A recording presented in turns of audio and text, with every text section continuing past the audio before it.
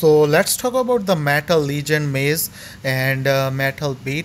Uh, how's the monster and uh, regarding his trait and skills? Uh, so uh, this monster i don't know but let's check it out.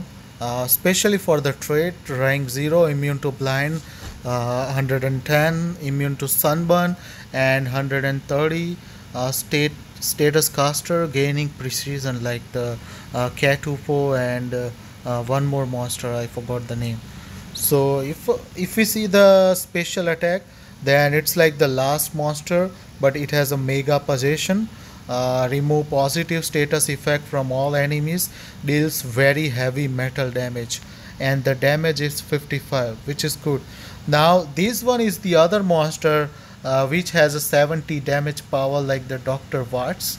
Uh, Dr. Watts, uh, for example, deals massive metal damage from the tier 3 and it can really damage a lot and having a power of almost 6000 uh, so this monster is a uh, attacker monster uh, and the other is moderate special damage.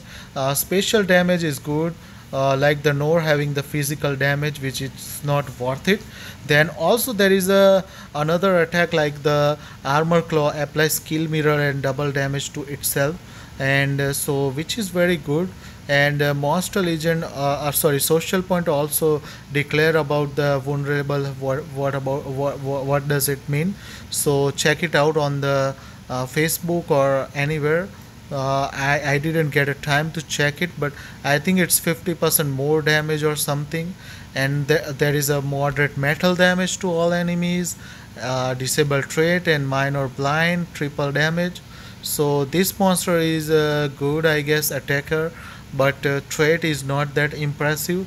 Uh, anyway the mythics uh, gonna be uh, like not that great.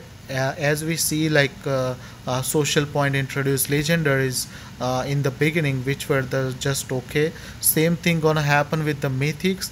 After some time you will see a mythic monster which is great. So good luck I, I'm sure you guys all will get this monster. Uh, see you for the next video